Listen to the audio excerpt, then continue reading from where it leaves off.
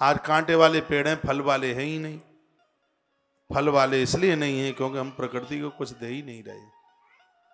वर्षा नहीं होगी, यज्ञ नहीं होंगे तो। वर्षा नहीं होगी तो अन्न पैदा नहीं होगा। भुखमरी फैल जाएगी, लोग खत्म हो जाएँगे। कुछ बचेगा ही नहीं। मैं और ज़्यादा आपको कुछ नहीं बोलता हुआ ऐसे हाथ जोड़ के नवरात्रा की नौमी को ये प्रार्थना मैं कर रहा हूँ आप अपने अपने घरों में यज्ञ हवन आज से ही शुरू कर दें। और कुछ बहुत ज़्यादा इसमें लगता नहीं है, बस अभ्यास करने की बात है।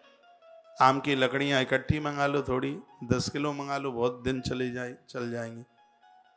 और कुंड मंगा लो, तांबे वाला, लोहे के पात्र में हवन मत करना। तो ताम्र का आप बना लें, तांबे का कुंड मंगा लें।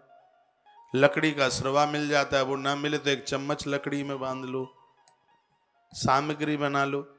सामग्री बनाने की विधि यह है कि जितना तिल है, उसका आधा चावल है। जितना चावल है, उसका आधा जौ है। जौ है, उसका आधा चीनी है। चीनी।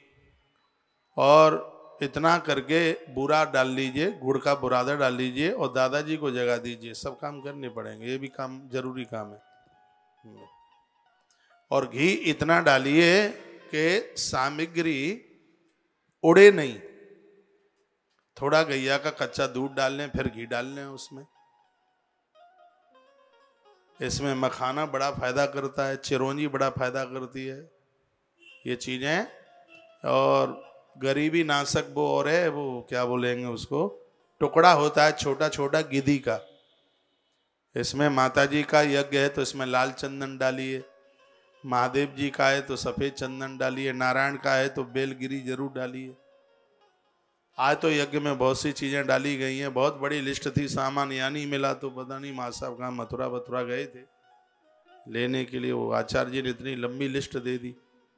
वो सब चीज़ें सर्व औषधि सामग्री डाल करके फिर उस यज्ञ को तो मुझे वो कहते, महाराज जी ये सामान नहीं मिल रहा है। मैंने कहा, हनुमान जी, संजीवनी ले आए हो? तुम अगर तगर लेके नहीं आ पा रहे हो? हाँ हनुमान तो संजीवनी ले आए इतनी दूर से। तुम फ़ोन कर रहे हो अगर तगर नहीं मिलता। मैंने यहाँ नहीं मिलेगा तो दूसरी जगह मिलेगा, कहीं तो मिलेगा। तो कहा, महाराज जी, अब मैं लेके ही लौटूँगा। मैंने कहा, आधा घंटा यज्ञ भले ही लेट हो जाए, दिक्कत नहीं है, पर सामान की पूरी व्यवस्था करिए। बहुत सब आनंद। देखिए, मेरी खुद श्रद्धा है इन सब चीज़ों में। भारी श्रद्धा है। इसलिए ये हम आपके निमित्त, आपके द्वारा आपसे ये सब कराते रहते हैं। इन सब चीज़ों का बड़ा असर होता है। प्रकृति को हम देंगे तो प्रकृति निश्चित रूप से हमारे लिए सोचेगी। हमारा कल्याण करेगी प्रकृति। मैया कहती है कि जो मैंने अपने नाम बत्तीस बताए हैं, यदि ये नाम कनेर के फूल से मेरे ऊपर चढ़ाई जावे, मैया कहती है कनेर का फूल लाल हो लाल कनेर के फूल से मेरे ऊपर हर एक नाम पर एक लाल कनेर का फूल, ये स्वयं माँ बोली है। माता कहती है, मैं अति प्रसन्न हो जाती हूँ। कनेर के फूल से मेरी यज्ञ की वेदियों का पूजन किया जावे।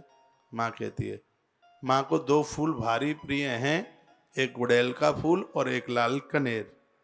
मेरे उक्त नामों से लाल कनेर के फूल चढ़ाते हुए सौ बार पूजा करें और ओम एम ह्रीम क्लीम चामुंडाई विचई जप करते रहें और पुआ हवन में डालें। माँ कहती है, एक तो सफ़ेद तिल वगैरह हो गया, एक खीर बनवा लें और खीर में पुआ। वो वाले पुआ जिसको गुलगुले कहते हैं। तो उसको खीर में ऐसे डुबाएँ हो एम ह्रीम क्लीम चामुंडाई विचई स्वाहा मैया कहती है कि हर अध्याय पर खड़े होकर के जजमान आहुति डाले। जैसे अध्याय पूरा होवे तो प्रमुख जजमान के लिए जो और भले ही सब बैठे रहे, जो उसका मुख्य यजमान है, यज्ञ का प्रमुख यजमान है, वो अध्याय पूरा होने पर खड़े होकर के आहुति डाले। बड़ा विधान है दुर्गा माता के यज्ञ का।